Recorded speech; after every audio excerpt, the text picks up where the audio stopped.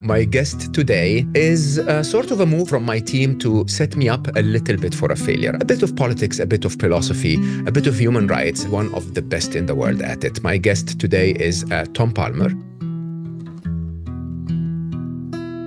I think we've had a very long period of increasing human liberty. I do think that the aggregate shows that over about the last 15 years, there's been a decline in the human experience of liberty. There's another element that we overlooked for a long time, and that is threats to relative status. You mean your position within society? Not relative to where I was before, but relative to you. Yes, uh, emerging technologies can be scary, but we're much better off having social pluralism, freedom of speech. I don't have to be a member of this religious group to favor their equal freedom. Their freedom is connected to mine at a deep, deep level.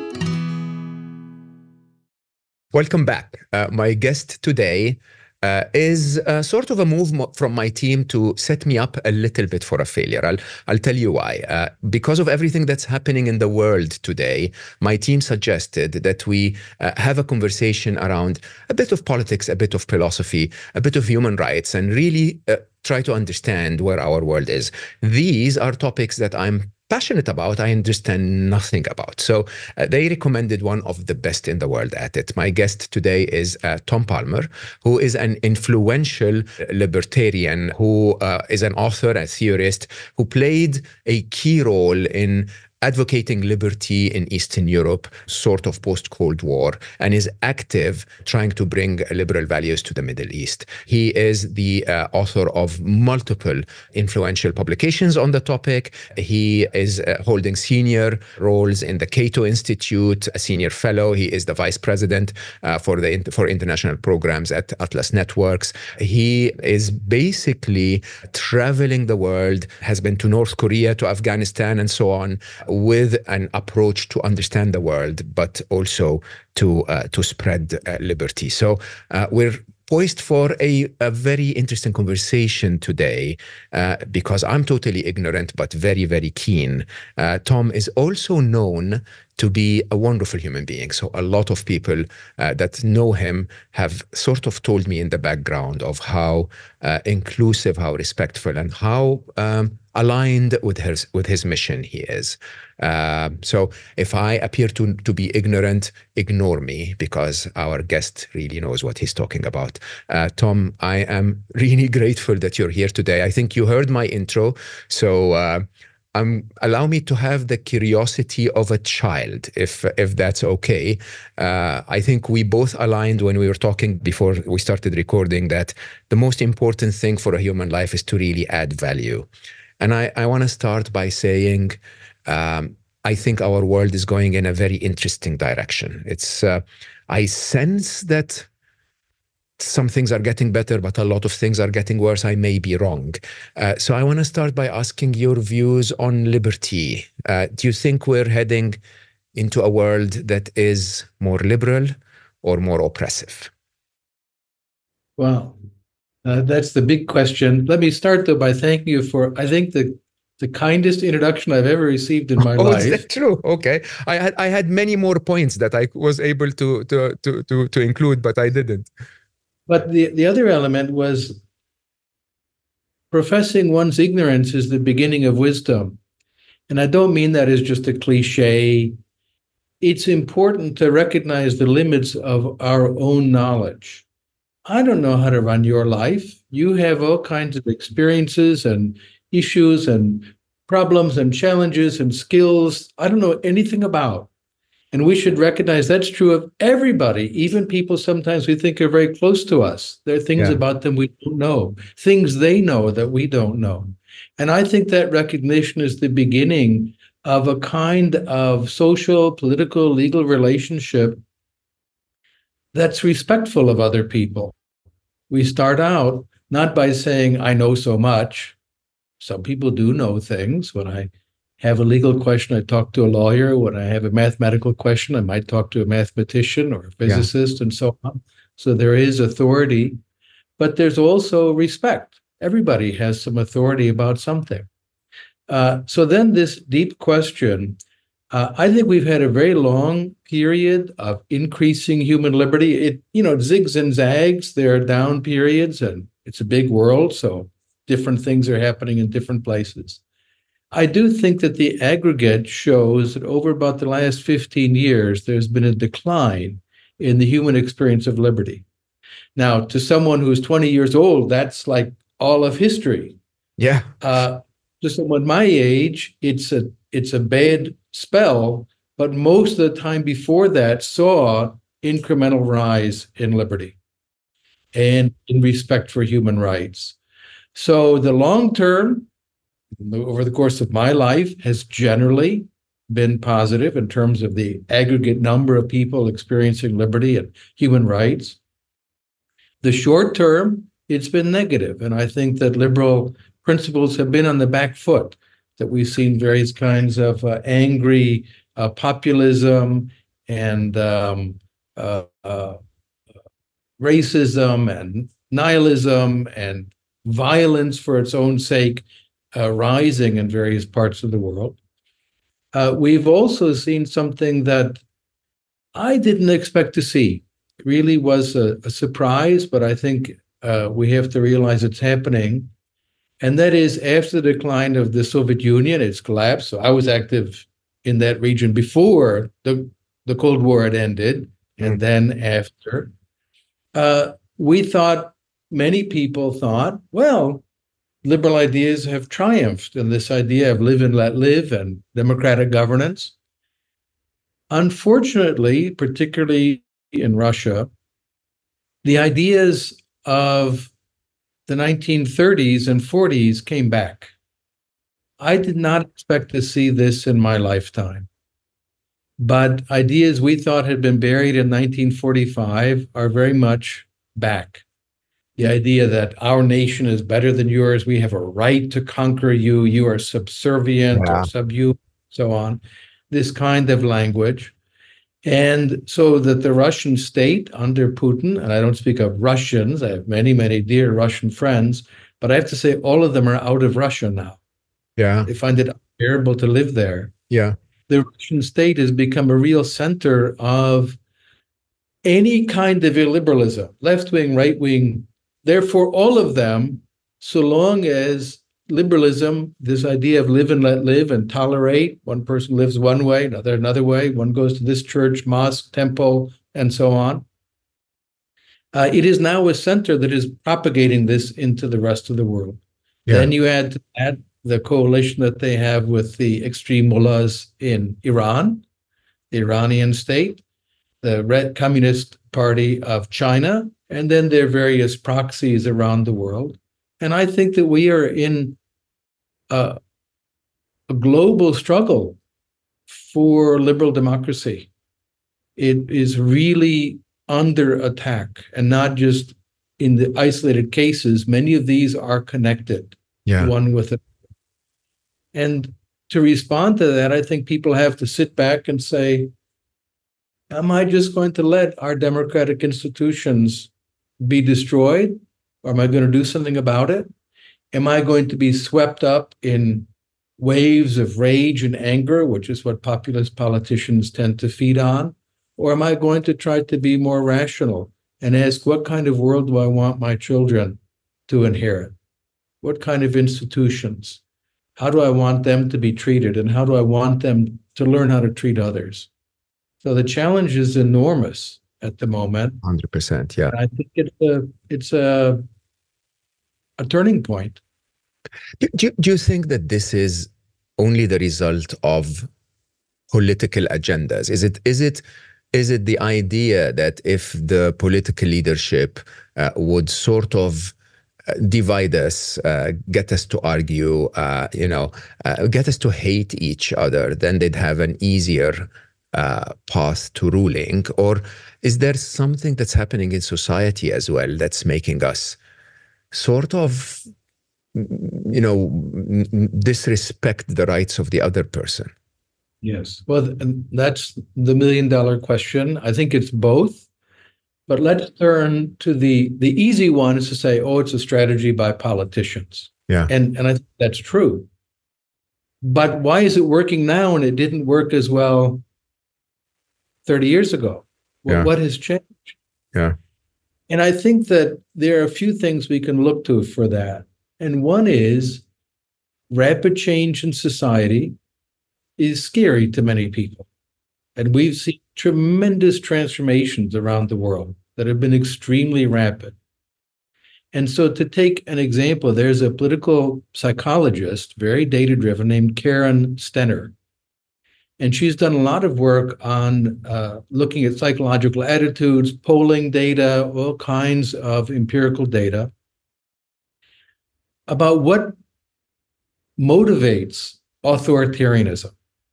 There was a theory going back to the 40s and 50s of the last century that there was an authoritarian personality that came out.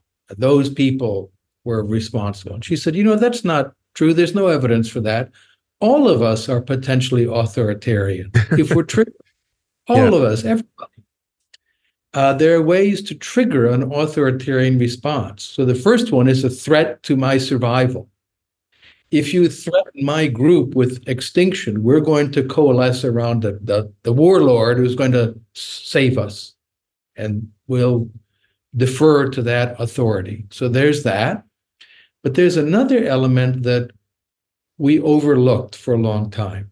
And I'm guilty of this. It was a blind spot. And that is threats to relative status. And I think this has been happening in much of the world. So let me explain. You mean your position within society? Relative to others, not relative to where I was before, but relative Um, to you. and and that's happening everywhere. Yes. Well, everywhere, but I think more rapidly in surprising ways. So let's take the United States, uh, where I lived for a long time.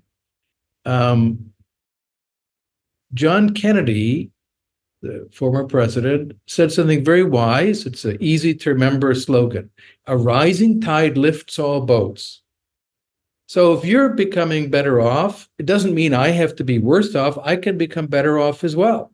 So a rising tide of prosperity can make everyone better off. So our absolute positions, we can all improve. It's not a zero sum game where your increase came at my expense. I had to fall by an equivalent amount. However, when it comes to our relative status, that's not the case. So let's imagine a group of 100 people and we rank them in terms of their popularity. Take an easy one. Who's the most popular person? Number one is the, uh, we'd say 100, most popular person in the group, 99, 98, all the way down to me. I'm the least popular person. Nobody Doubt that very much. Even I don't like myself. I'm right at the bottom. Now, if somebody rises in that ranking, somebody else had to fall. Correct.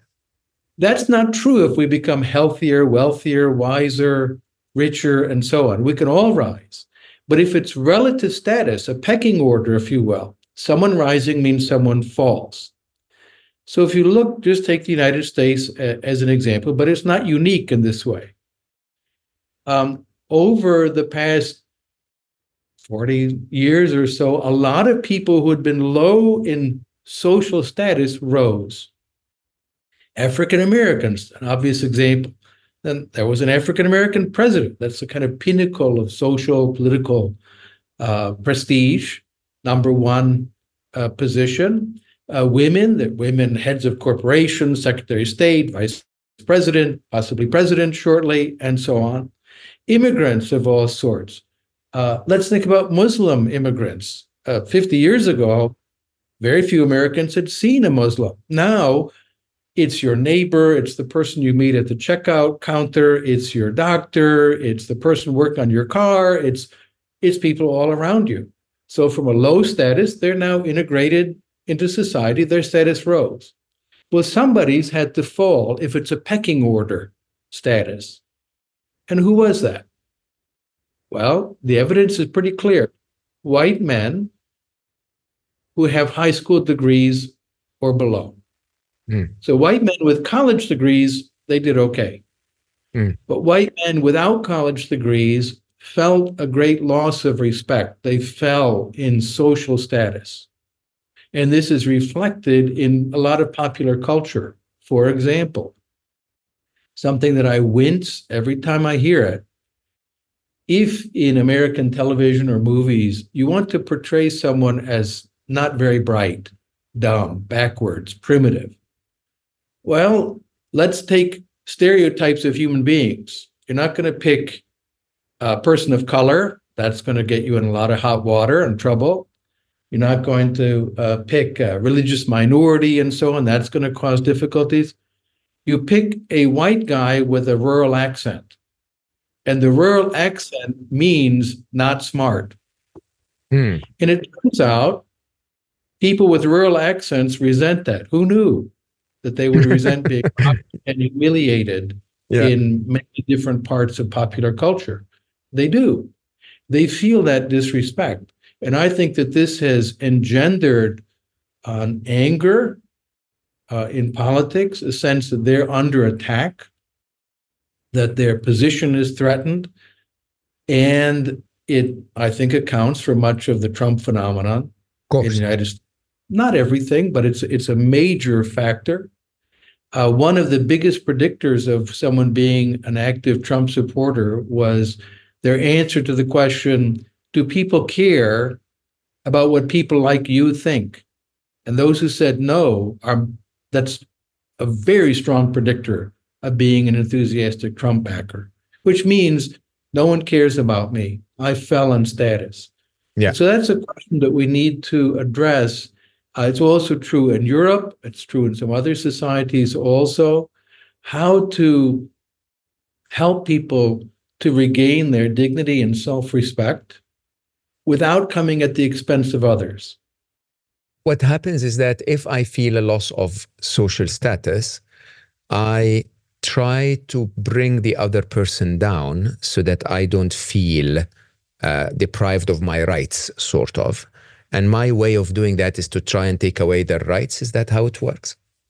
That's one form that that can take, and I think that's something we have absolutely seen in uh, contemporary politics. Um, I mean, look at uh, Germany, the AfD party, Alternative für Deutschland, is currently in a great deal of hot water. When it came out, they had a secret conference with some really scary totalitarian neo-Nazi type figures about deporting non-Germans from Germany, and they define non-German to include German citizens, Oh, wow. but uh, but of the wrong skin color or ethnic background. of course. Yeah. This is this is quite scary, and there's a a need, I think, for everyone to achieve an identity. And you've done it with your work and your your career as an engineer and entrepreneur, and now with your uh, uh, work spreading this idea of people struggling to achieve happiness. Your identity is tied up in that. There's another way to get an identity, not only through your achievements and your accomplishments, but by saying, I'm not that. The, the Oh, wow. negative route to an identity. Mhm. And so someone might say, well, and I don't want to use any of the hateful negative terms, but I'm not gay, but they would use a nastier term. I'm not a queer or something like that. I'm not black. Well, that's what the N word is for. I'm not that. And they achieve a kind of an identity in that fashion. It's a negative identity. It's what you're not. Hmm. But it's an easy way to achieve one, much easier than actually going and accomplishing something. So I'll give you a, a simple personal experience. Many years ago, um, uh, talking to my brother, who was working as a janitor at the time and putting his, his way through college. and uh, he and I have similar views on uh, political matters. He was, like I was, very enthusiastic. This is many decades ago. And he gave leaflets to his coworkers who were mu- much, much older than he was. And then he, a few days later, he said, Oh, did you read that? And one of them was very sullen and taciturn, didn't say anything. And another janitor said, Well, he can't read. Mhm. And my brother, being young and a little bit naive about these things, said, Oh, well, immediately he thought there are literacy courses for adults that you could enroll in and so on. This is not something that a, a grown adult wants to hear from a very young person. And his response was, Well, maybe I can't read, but at least I'm not a, and then he uttered that hateful N word. Yeah. And that's a way of negating the existence of other people and affirming your own in, in this negative fashion. And so saying I'm not, whatever the outgroup is, is an easy way to achieve a cheap identity. I'm one of us. Now you can add another element. There is a political theory called populism. There was a particularly badly written book by Ernesto Laclau, who was a uh, now deceased, but a, a, political scientist from Argentina, then taught in the UK, called On Populist Reason. And he said that you create the people by identifying the enemies of the people. Yeah. What is the fundamental unit of politics in his view? It's not a principle, which is what the more liberal approach would be principles of toleration and, and rule of law. It's a demand. I want something. And a political leader assembles demands and he creates a unity among them. They have no coherence in and of themselves by positing the enemy, the enemy of the people. And the enemy of the people can be anyone you choose. It can be Muslims or Jews or Christians. It can be homosexuals or immigrants. It can be the 1% or whatever. Anyone who's not like you. Well, such that we can then create an identity of the true people hmm. versus the enemy of the people and his his language is particularly opaque. I think people who have something nasty to say sometimes deliberately occluded in clouds of additional words. He says that what provides the unity is the empty signifier, and I puzzled over the book so much, and I realized, oh, he means Mussolini. That's the empty signifier mm. who hmm. creates unity by designating the enemy of the people. Mm. Laclau was a Peronist. Peron was the Argentine yeah. dictator, and but, uh, but he he created a general roadmap for populists, and so you hear that language, the enemy of the people. Donald Trump uses that term. They are the enemy of the people, and any anytime I hear that phrase, my blood just runs cold. Hmm. But isn't isn't that isn't that now becoming I mean, as you as you speak about it, isn't that becoming the nature of social media? That you know, I'm not like you is my identity, but that that's that's not driven by an agenda, right? It's like almost everyone is trying to become not like everyone else to find their identity. There is no coherence among them. It's not like I'm like I'm not like you, but I'm like that other person. It's like I'm not like anyone.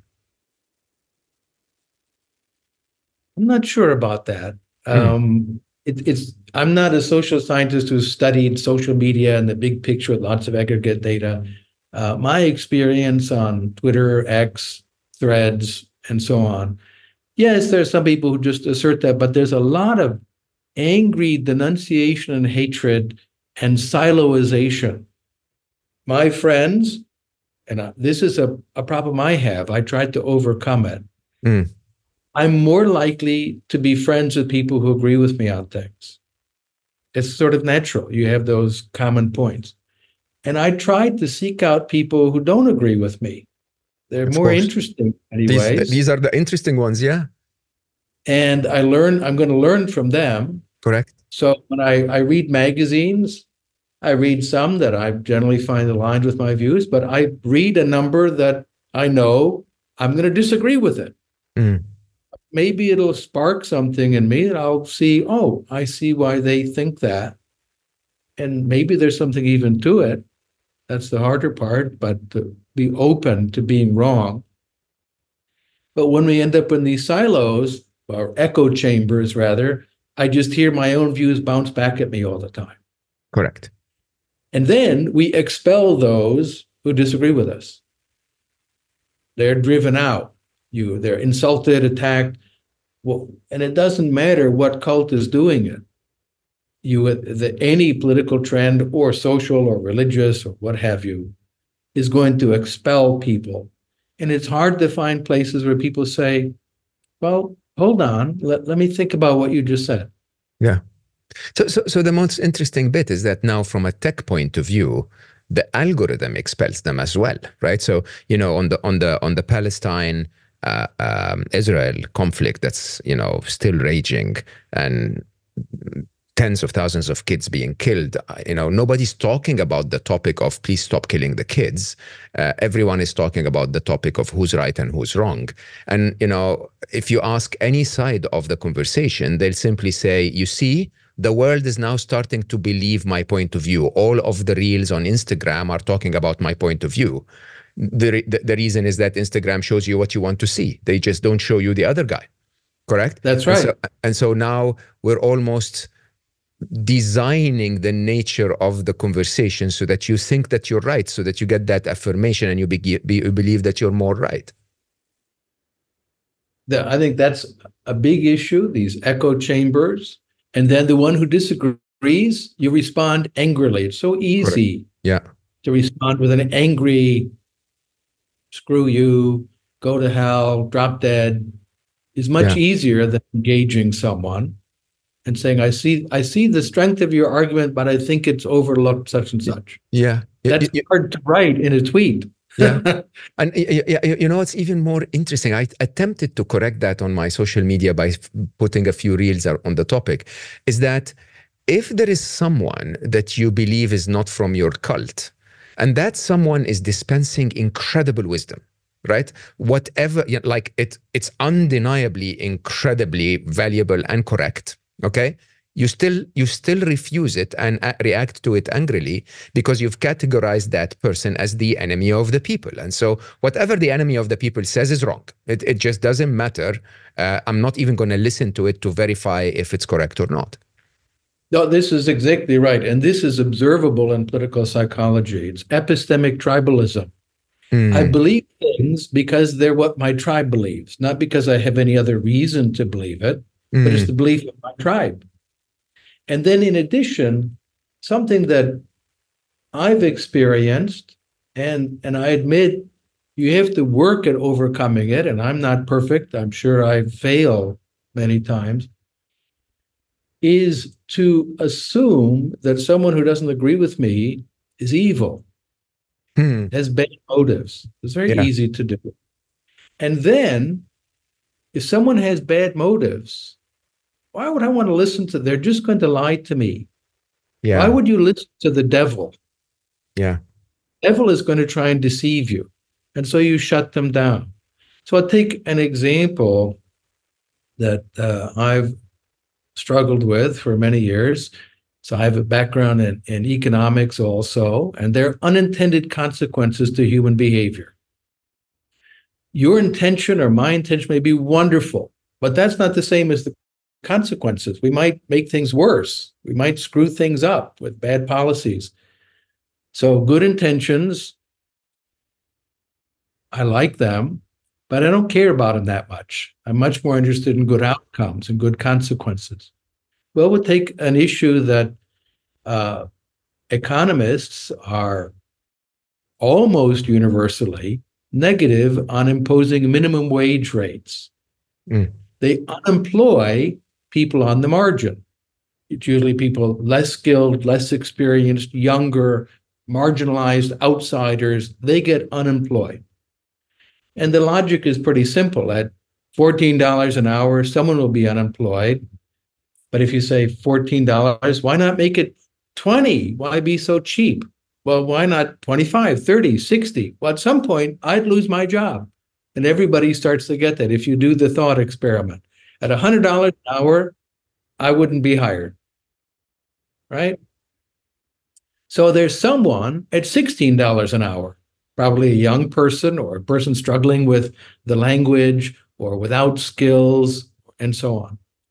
But if you mention that, people who support minimum wage are often likely to say, You don't like poor people. Hmm. That's what's going on here. You're against poor people. So I heard just recently on the radio in the United States um, that the minimum wage had been raised in a number of states, and the and the the newscaster said people are getting a wage rise in those states. Well, some, but some are probably losing their jobs. There's a reason why when you go to a McDonald's or a fast food place, there are those automatic ordering things yeah. rather than a team. The consequence is that people will say, no, I'm not going to listen to you. You're against the poor. And because you're against the poor, I won't listen to you because you're a bad person. And the argument that has convinced virtually all economists falls on deaf ears with most other people. Yeah. And it it's a problem to sit down and say, okay, I'm let me start with the assumption you're you're not a bad person. Mm. So let me think through your argument. You might be wrong. I might disagree. I might find a hole in your argument. But I'm not going to start by saying you're a bad person and therefore I won't listen to you. I, I think that single change alone would change the world. Honestly, I mean, if people just simply change their mind and say, wisdom is wisdom, even if it comes from someone who's bad. And by the way, someone who's not like me is not always bad. Uh, you know, that justification of if they're not like me, then they must be bad. That's, I think, a, a, a, game of ego, which basically is what you started the conversation with. By making someone else look worse than they are, I look better than I am. Right. That's right. And and, and I think I think that whole uh, uh, attachment to wanting to look better than you are, or wanting to relatively retain a position.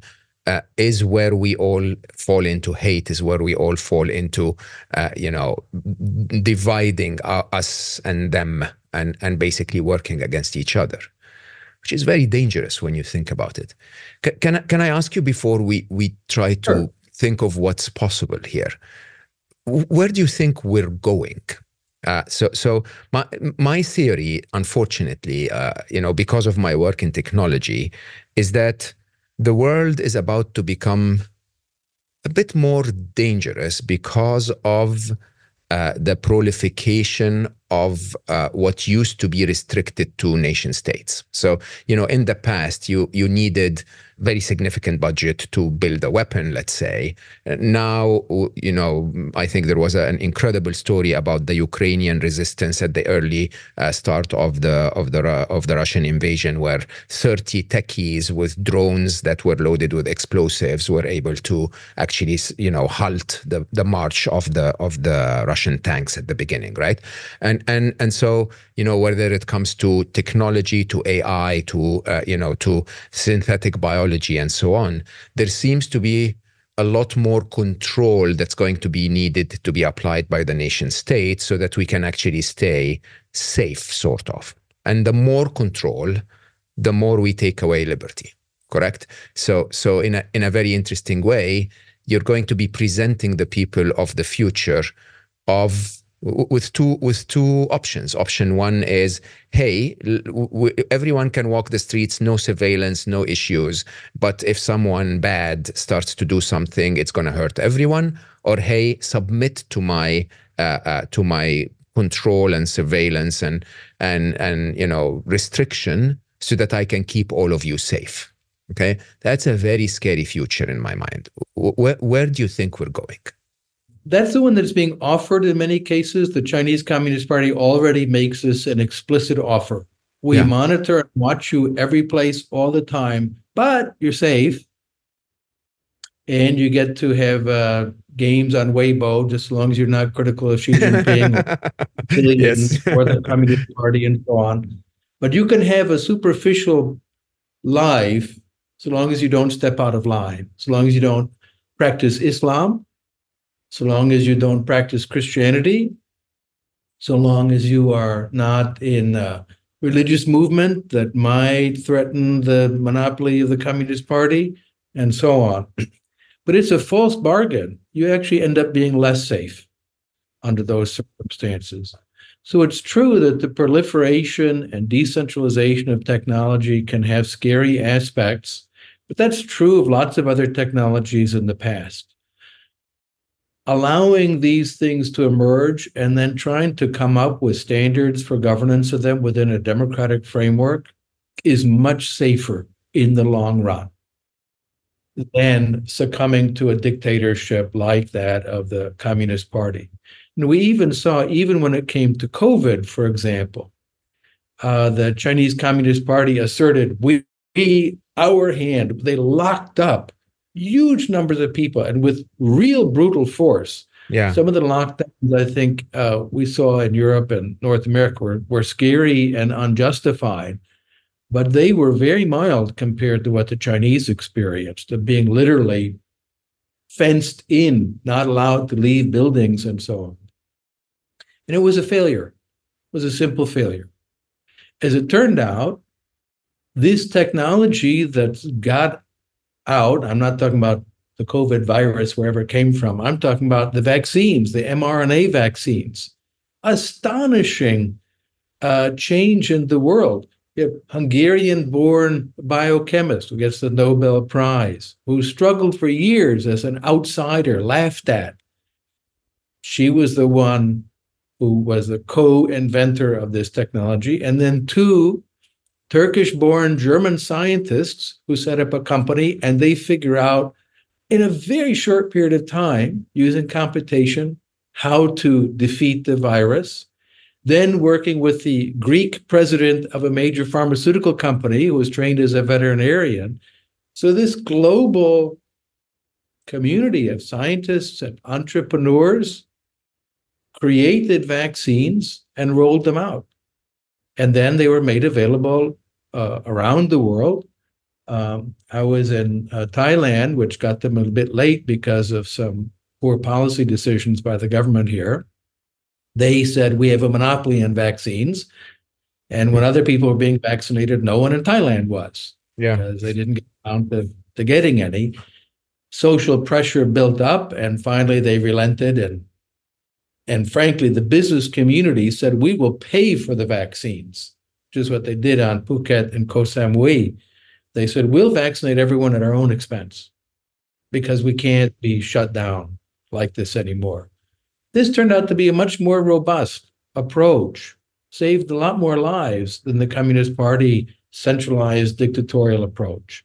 And I think that's a general model for the world. Yes, uh, emerging technologies can be scary. Uh, they will have consequences that you and I cannot now imagine. But we're much better off having social pluralism, freedom of speech, freedom to criticize, to ask questions, uh, yeah. freedom of movement, uh, freedom of trade, and free democratic conversation. It's a more robust response to those problems. I'll give you an example of things that that change social life in ways that were hard to anticipate. The telephone, mm. the ability to talk to people far away, and for lovers to have long conversations uh, with each other, though despite being separated. Uh, it used to be the case in uh, middle class, wealthier homes that you went courting, and there was a parlor in the house and there, the boy and the girl could sit and talk, supervised by chaperones. Yeah. That was the dating experience. Yeah. Well, the automobile sure changed that. The automobile and the telephone. And now, all kinds of other socialization, including romantic socialization with telephone, text messaging, apps, Tinder, Grindr, all those sorts of things. And these have consequences. Some we might applaud, some we might regret. They're often unintended, but they have responses. People emerge with more res- with better solutions rather than having a tech dictator telling us when and how we're allowed to use this technological improvement or not.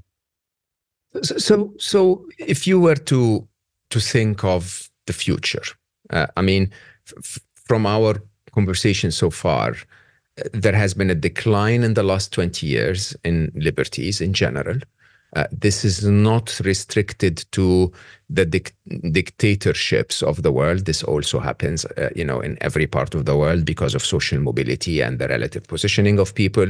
Uh, it seems more and more that it is divide and conquer that if you're not like me you're the enemy. And you know i can i can get an identity by being rude to the enemy being violent to the enemy. Uh, this seems to me as a very dangerous future if you even add to it a bit of the nation state control and so on and so forth. What is the answer I mean, what's what, is the answer a push for democracy? Is it at the political level? Uh, you know, I think my question is two sides. You know, what should the people do? Hmm? You and I and everyone listening, but also how should we use technology so that technology not only makes us I mean, that doesn't work against us because I think also there is a wave of technology really getting into disinformation and misinformation and really not telling us the truth anymore. So, and without truth, there is no liberty. There are a couple of questions embedded in that that I think could be teased out. And the first one, a little bit uncomfortable for me because for my adult life, I have been what I would consider a peace activist and I still consider myself a peace activist. War is terrible, and you should do virtually anything to avoid it. When it's brought to you, you you you were not able to avoid it. Yeah. And I think that we are at a time when I believe in a strong military response to a heinous aggression. So I was just in Ukraine about 10 days ago and uh, working with Ukrainians. Uh, most of my work is on humanitarian relief and helping them get ambulances and field hospitals. The suffering has been quite extraordinary yeah. there, and you see that the the Russian army destroys everything. If they can't take it or steal it, they destroy it. If I can't have it, you won't have it. Is the the mentality of the state there. And so I'm very strongly supportive of the Ukrainians being able to defend themselves. They don't want to conquer Russia. They don't want to take any Russia. They just want not to be conquered, invaded, annexed, and then have the knock on the door at night because your daughter was heard speaking Ukrainian, not to have all the books in the library taken out and burned because they're in Ukrainian language and then replaced by Russian, not have the local town council members disappear, or in the case of Crimea, the Tatar population has been decimated now by the Russians. Uh, they killed their top leaders. They disbanded their majlis, their uh, their their parliament, yeah, uh, and so on.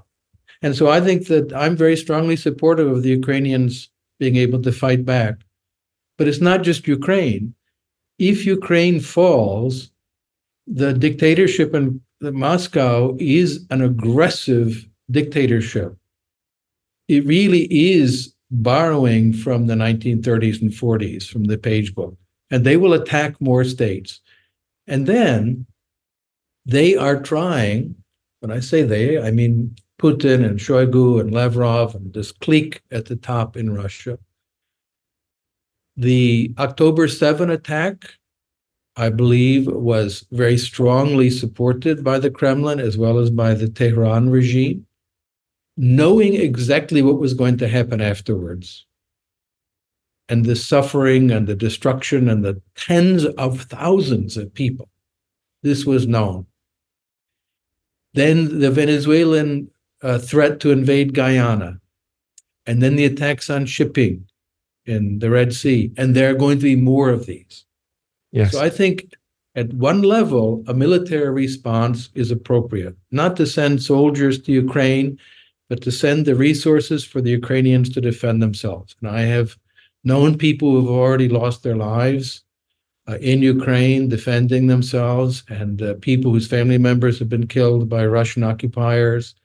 I've met, went to recently liberated villages, and women came out just to talk to someone what they experienced once that her son had been executed, taken out, and shot by the Russian occupiers.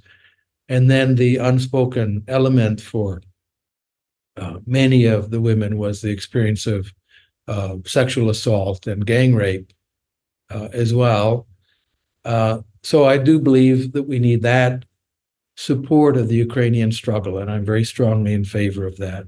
Then the second question is how do we support the institutions of liberal democracy, a pluralistic society, one that has a space for people, regardless of their religion or creed or color or language, and so on, that says you have a life to lead. You can lead your life too, but we need some common rules that make that possible rule of law, toleration, and so on.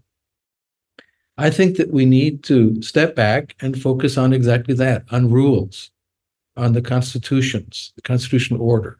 So, not just in the United States, Americans are very proud of their constitution for good reasons, I think. Not perfect, and it's been amended to make it better over time, but it's done a pretty good job. But other countries have constitutions, even unwritten ones, like Great Britain has an unwritten constitution but people know what it is.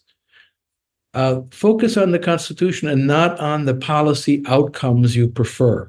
And that's a very mm. important thing. It, it's a little hard for me. I, I, mentioned the issue of the minimum wage. Um, I think minimum wage laws are a bad idea. They make poor people unemployed. That doesn't help them. However, I would not support someone who said, I'll be your dictator and I'll get rid of the minimum wage or whatever it legalization of marijuana. I'm very strongly in favor of legalizing pot. I don't smoke it. I don't like it. I don't want to be around it. But I don't want people to go to prison for owning a plant. but I wouldn't support someone who said, look, I'm the pro pot dictator. Put me in absolute power and I'll legalize pot, which is what you want. Well, what I also want is not just this outcome, I want the system of rules that generates outcomes, and that's constitutional respect. Even if, let's say, you and I run for office, and we Never campaign hard. Well, imagine it's a thought experiment. Yeah. We run for the same office, dog catcher, or state senator, or member of parliament, or whatever. And you get more votes than I do, I'm supposed to say, Congratulations. We fought a tough campaign and I criticized you, but I congratulate you. And now I become the loyal opposition. And I'll criticize you and I'll ask hard questions and I'll be tough on you. But I will respect that you are the one who has the office. And by the way, office comes from the Latin term for a duty. Yeah. When you get office, you don't get power, you get a duty, a responsibility. And now that's in your hands, and I respect that. And that is what we have missed in the United States. Mr. Trump said, whatever you think of his policies, before the election, he said, it's already rigged, and I and I refuse to accept that that horrible person could ever win. Well, that's just an inv- that is what leads to dictatorship, in my opinion. Just yeah. that. And we need to be able to say, we followed the rules. I may not be happy with the outcome. I got my less preferred outcome. But what is more important to me is the process by which the outcome was generated. I pre warned at the beginning of our conversation that I know nothing about this. Uh, so, so I'm, I'm going to ask the most maybe naive or stupid question you probably ever received. So, so your belief is still in governance. I don't believe in government at all. Uh, so, so I, I, you know, in uh, in my culture, there is some proverb. I think it's a religious saying, but it basically says, "As you are, so will your your leader." Okay, which in my mind is uh, is is actually where the core of the issue is. The core of the issue is that if the people don't change and expect that government and rules and laws and regulations and so on will put them in place, uh, yeah, there is a chance of success, but it's unlikely going to be the case if the people are rude to each other, if the people take away the liberty of the enemy, if the people is there a way? I mean, maybe I'm wrong. Maybe if we tell people, I mean, I remember a time in my country, Egypt, where there was a, a head of of the police that basically said, you know what? From now on, there is no go, not going to be jaywalking. There is not going to be breaking the the you know running through traffic lights and so on. And literally within a month, everyone complied, and you know the streets were so much more smooth and everything was wonderful. But eventually, what ended up happening is as you are so you will be so will be your leader he was kicked out and you know and things went back to normal right and if you've ever been to egypt i'm sure you have you know the, the there is you know traffic lights are sort of like guidelines if you know if you want to stop Exactly. It's, it's, it's decoration, really. You know, it's all about uh, negotiating who crosses the, the the the crossroads, right? And and and so it's quite interesting, in my mind, that we by by us expecting to get governance to work, we're sort of letting go of our own responsibility of us shaping up so that we get the leader that matches a shaped up people. Well, there are a lot of deep issues involved in that. I know.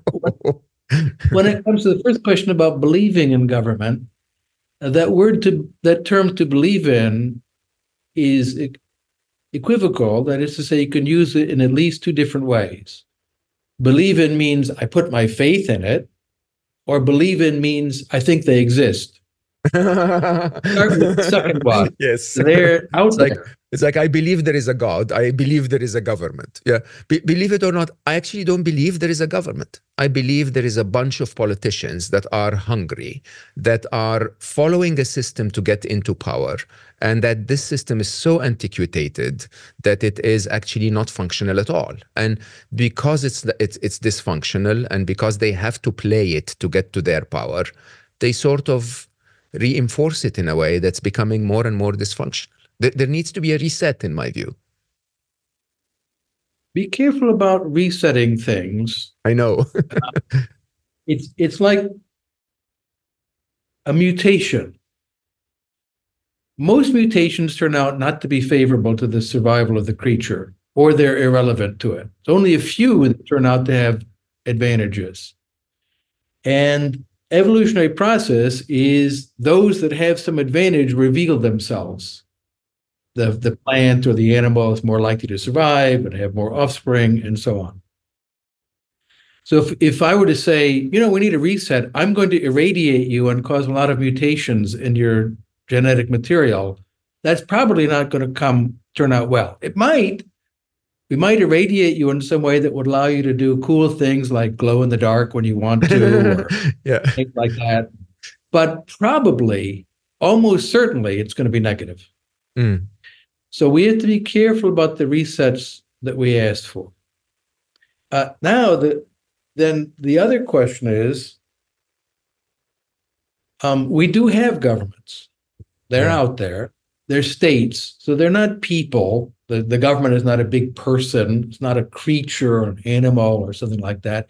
It's made up of people, as you mentioned, politicians, but also filing clerks and uh, uh, uh, meter maids and people who write tickets and tax collectors and it's everybody and all of their complex relationships. So it's a thing, it's an entity in some sense, like a chess club. A chess club isn't just a bunch of individuals. It's individuals who come together in a relationship. They have a function. They like to play chess. They they elect the secretary and the chair, who then decides when the meetings will be held, and so on. So we can speak meaningfully of a chess club. It's not just a heap of people. Yeah. It's an entity of a kind made up of people and their relationships. And governments are like that too. And those institutions, those entities, can cause enormous suffering and harm in the world. When they go bad, they're really, really, really bad. Exactly. But here we are. How can we make them less bad and possibly adding some value to the world? So, for that, I think we need to actively embrace some principles of liberal democracy. So, I'll give you an example of a dear friend of mine who died in uh, 2014. Some suggested possibly poisoned by Mr. Putin because he was a critic, but he also was in poor health. His name was Kakha Bendukidze. He was a genius businessman. Uh, he was a biochemist in the Soviet Union, very high level, brilliant scientist. And as the Soviet Union collapsed, he set, uh, set up a company in biochemistry to develop uh, anti-bee, anti, anti-venom for bee stings. But one of his colleagues stole all the bee venom. And as he said, do you know how many bees it takes to get a liter of bee venom? Uh, so it was a disaster. And then he went into other businesses, became very prosperous. And then uh, when Putin began to create his dictatorship, he said, We don't need people like you and he was Georgian ethnically. Georgians fell out of favor. They deported them from Russia in cargo planes, by the way, to indicate they were trash. Wow. And he became Minister of Economics of, of Georgia for basically a dollar a year. And he began to reform the state uh, with the government there. He said, What do you want? They said, We want to be independent of Russia. He said, Then make Georgia rich. How do you do that? He said, Here are some things.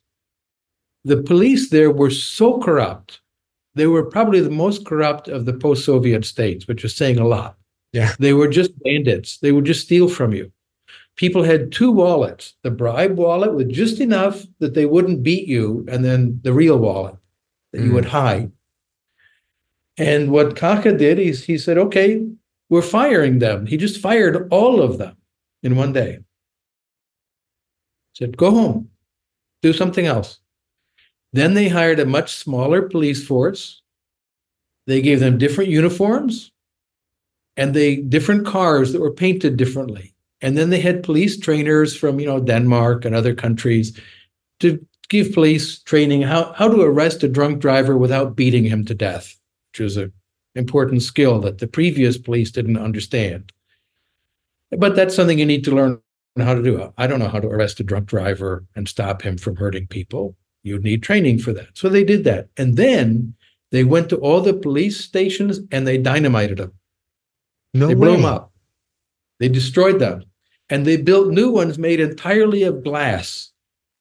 Hmm. So when the police, these new policemen, who had no previous police experience but were trained by European and Canadian and so on uh, officers. If they arrest me, they take me in. All my friends can see, and everyone was now having cell phones with cameras. So if they begin to beat me, it's on video. Mm. It created a totally different dynamic, and the police changed. They changed so much so that if a policeman was approaching you, you, you no longer immediately felt fear, which is what you experienced before. Uh, that was a huge improvement. And it came about by thinking carefully what are the incentives that people face? Why do they engage in bad behavior? How can we change the, the, the context of that behavior, the incentives economists talk about? Uh, and transparency, literal transparency, was one of the ways to do that. Yeah. Uh, and so that was an improvement. And it's one I'm happy to say I knew the people who were behind it, and it worked. Now, Georgia's had other problems uh, since that time, but the um, results that they brought about, many of them have been lasting. Yeah. And it's been just astonishing improvement. So I'll take that. I'm happy to get those kinds of improvements. It, it always takes one leader, doesn't it? Just a leader. I don't think that's true actually it takes something more. And i was at a conference i organized in 2014 with kakha in ukraine uh, immediately with the invasion the russian invasion.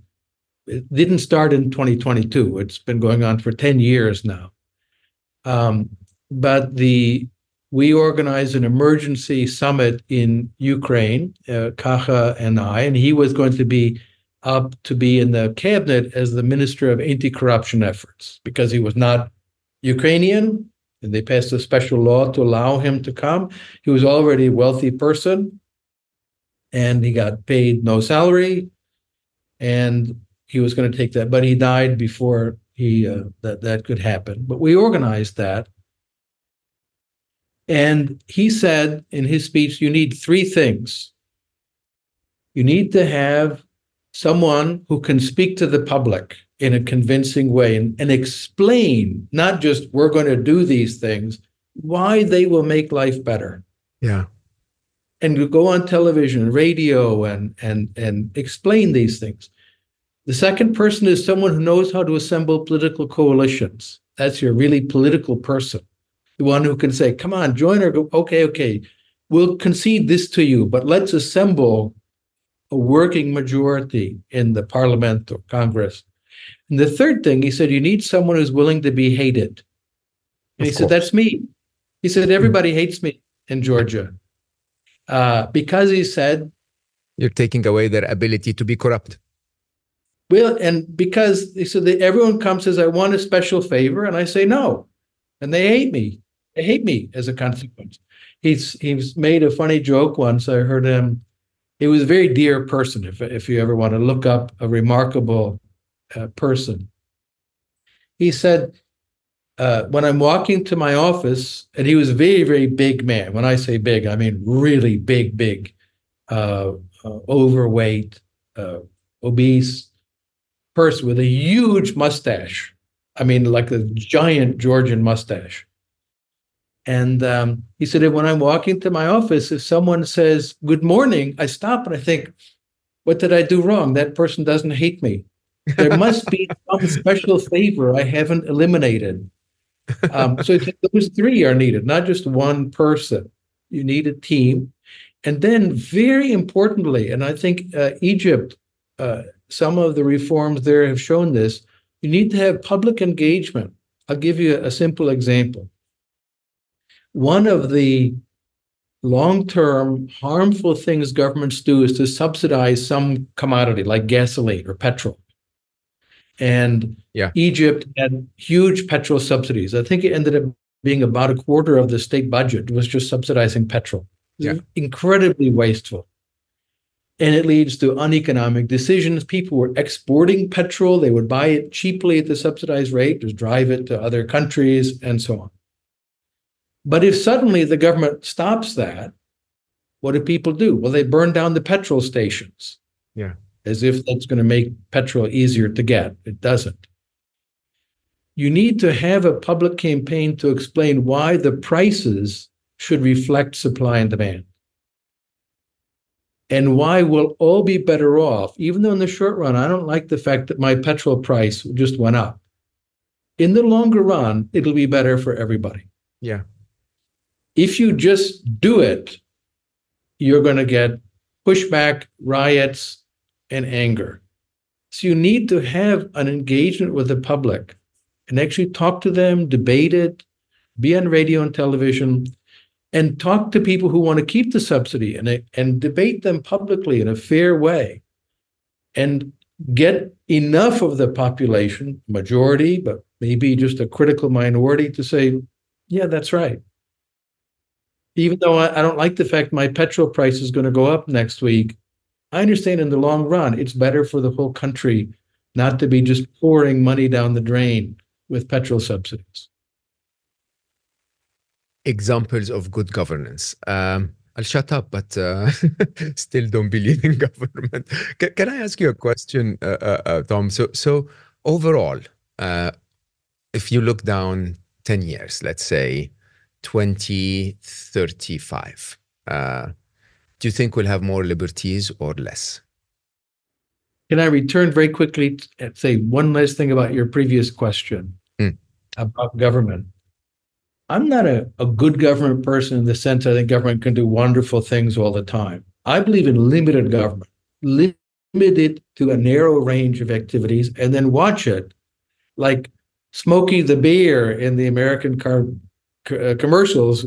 You know, you're you have to watch that campfire all the time and put it out make sure it doesn't spread. And government is like that. It's very dangerous. Yeah. The other element is in some ways, much of our lives, we govern ourselves.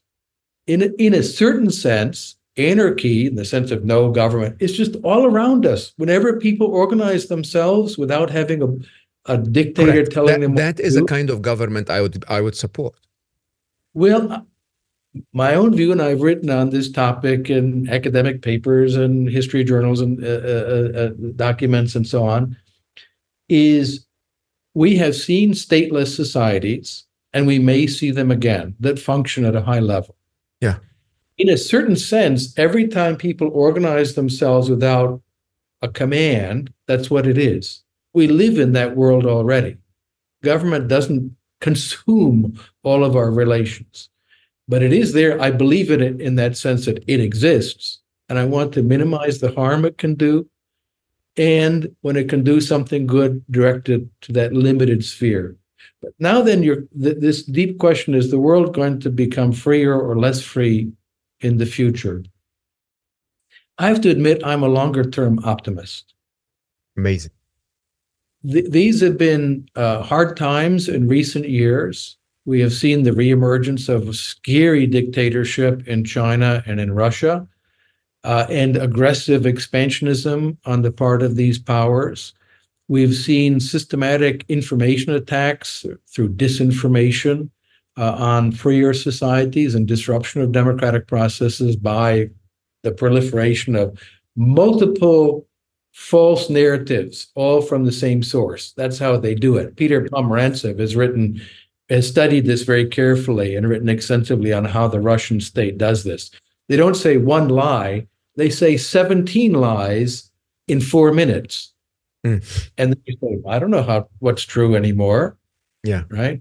So we've we are going through a difficult time. I think this is a pivotal time, pivotal moment, uh, certainly in my lifetime. Uh, but I'm a long run optimist and for two reasons. One is I think that free societies are more resilient than the advocates of dictatorship think. And second, pessimism is self fulfilling. If you want to have a good outcome, be optimistic. Just do the best that you can in the hope that things are going to get better. So I believe in optimism in that sense. And then the third point I would make looking at the last 225 or so years, for much of humanity, which means the overwhelming majority, life has gotten a little bit better. There have been down times, many people, and so on. Uh, Steven Pinker, in his book on enlightenment now, I think uh, does a marvelous job on this. Uh, the website humanprogress.org documents this in great detail across a huge range of experiences. Life has gotten better. Life has got, and it's connected not just to having more stuff, more washing machines. I'm a big fan of washing machines compared to hand washing. Uh, my mother had the, the crank thing. I remember uh, that. Yeah. yeah. When when I was a little boy, she was clever enough to make me consider it a cool thing to be allowed to crank it. yeah.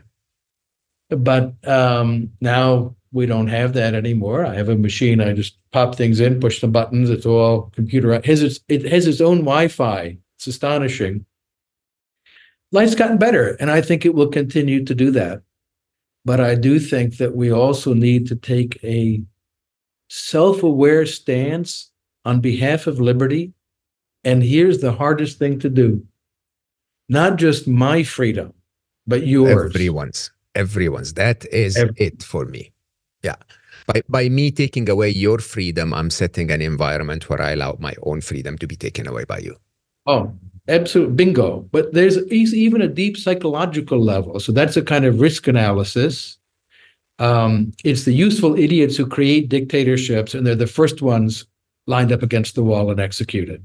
Just mm. it, it's happened so many times. And you yeah. think like, why do they understand this? Um, but there's a psychological level also. One of my figures that I really admire was a man named Joaquim Nabuco, who's Brazilian. He was an abolitionist. He worked all his life from being a student until success in 1888 to eliminate slavery in Brazil. He said it was unbearable that here he was a, a free person, but he said what was unbearable was to live in a society when other people are not free. And in his book on abolitionism, which had a big impact at swaying the opinion to get rid of this evil institution, He wrote something I've committed almost to memory. He said, Educate yourselves and educate your children in the love of the freedom of others. For only when you love the freedom of other people will you truly appreciate your own. You will not see it as a gratuitous gift from fate, but you will truly appreciate and embrace it. And that I've taken as my personal motto. I mentioned I don't smoke marijuana. I don't I don't even like being around it at all. But I've worked for 50 years to legalize it. Not because I want to smoke it, but because I think it's wrong to put other people in cages.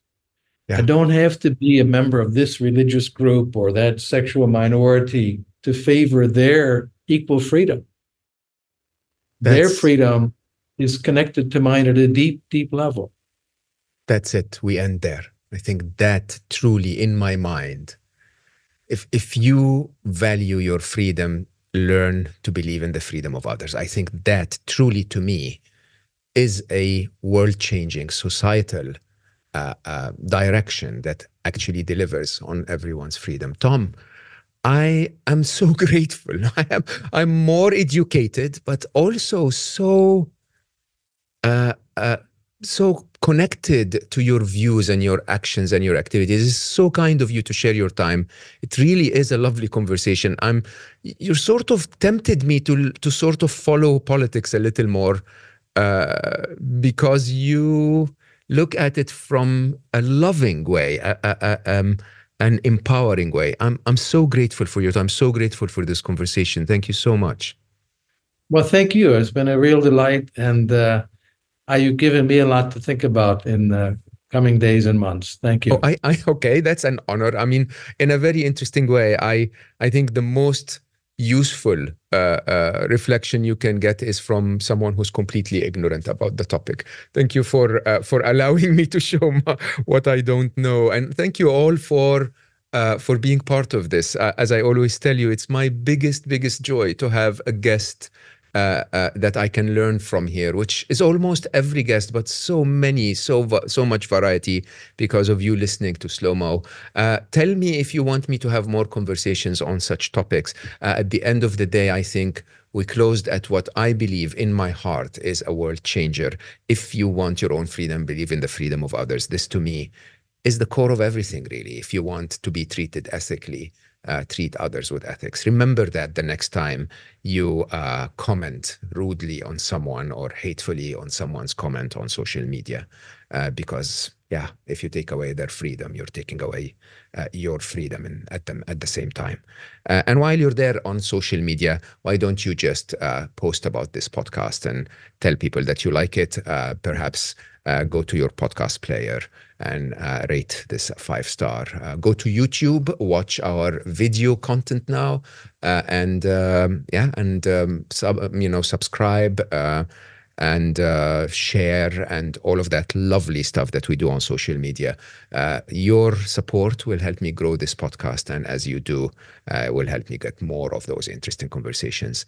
Uh, whatever you do this week, uh, uh, take a little bit of time to slow down and reflect because it doesn't matter how busy you are, there is always a little bit of time to slow down.